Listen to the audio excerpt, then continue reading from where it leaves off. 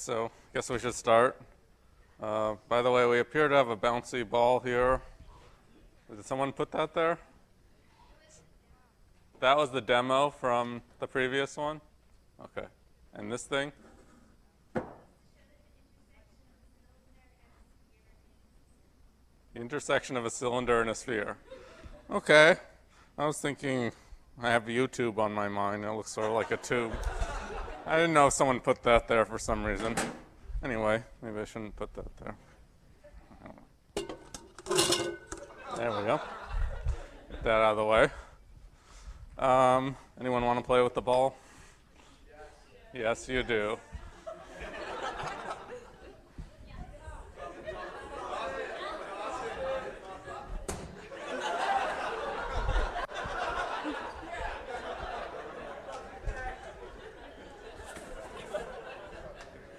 Was fun. You want it?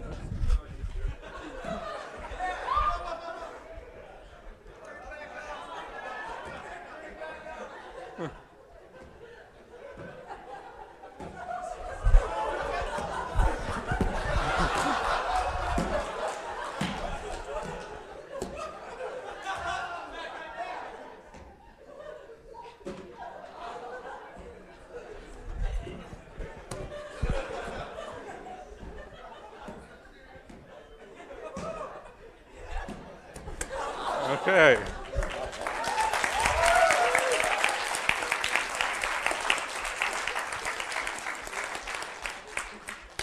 So does that seem Markov to you?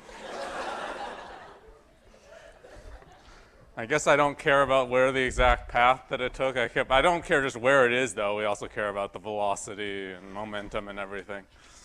Anyway, that was fun because it makes a huge difference as far as finding the stationary distribution and what this chain is going to look like. So this uh, chessboard problem is just a special case of random walk on an undirected graph. Yeah. Right?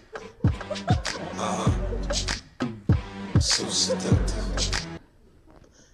Hello, Professor Blitzstein. Hello? I take you to the candy shop. I let you lick the lollipop. Go ahead, girl, don't you stop. Keep going till you hit the spot. Whoa. Why is it doing that? Why is it doing that? Why is it doing that? Yeah. Yes, Joe, why is it?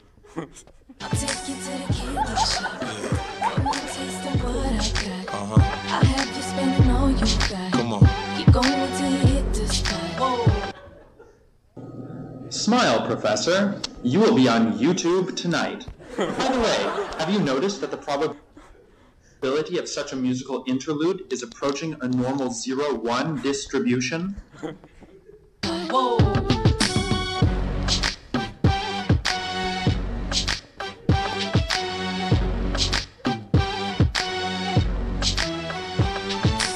sure if the central limit theorem applies here.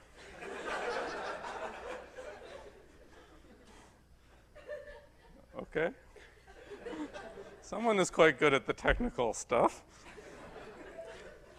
Um, oh, okay. Um, I don't know how to top myself.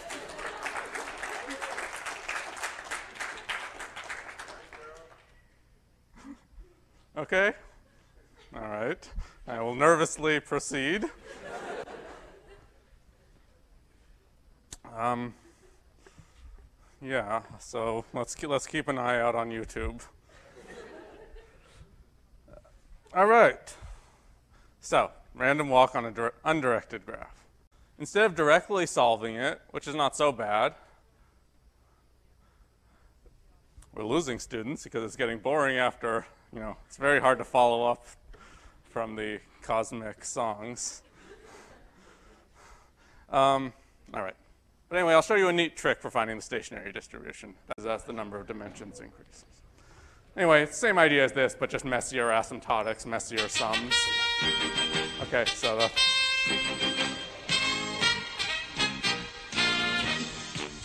Ich hab mein Herz in Heidelberg verloren. in einer lauen Sommernacht. Ich war verliebt bis über beide Ohren wie ein Röslein hat ihr Mund gelacht. Und als wir Abschied nahmen vor den Toren, beim letzten Kuss, da hab ich klar erkannt, dass sich mein Herz